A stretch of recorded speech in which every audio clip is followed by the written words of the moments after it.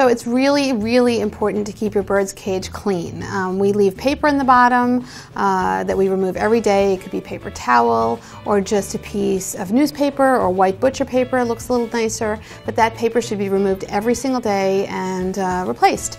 You don't want stool and old food to build up on the bottom of the cage. Um, you should clean the perches um, every single day, scrape off any debris, any stool that builds up on the perches. This is all really, really important for the health of the bird. And you don't want to use things like corn cob bedding or anything dusty, litter-like on the bottom of the cage. Just paper. It's much safer for the bird's respiratory tract. They breathe in all kinds of stuff that can come up out of the, the dust on the bottom. What do we do when we clean a cage, Sarah?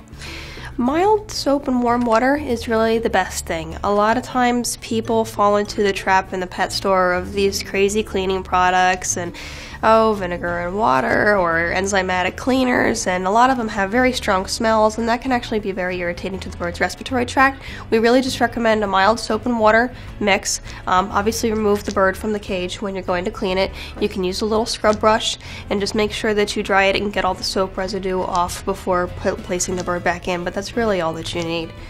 Absolutely, and if there are fabric things in the in the perches uh, on the perches, little tents that they have, or toys that are made out of fabric or felt, those are things you can stick in the washing machine or just rinse off.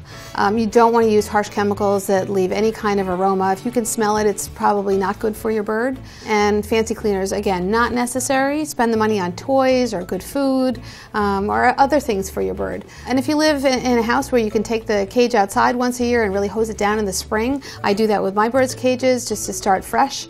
But even if you don't, uh, just keeping it clean on a daily basis, your bird will be healthier, live longer, and have fewer probably respiratory infections.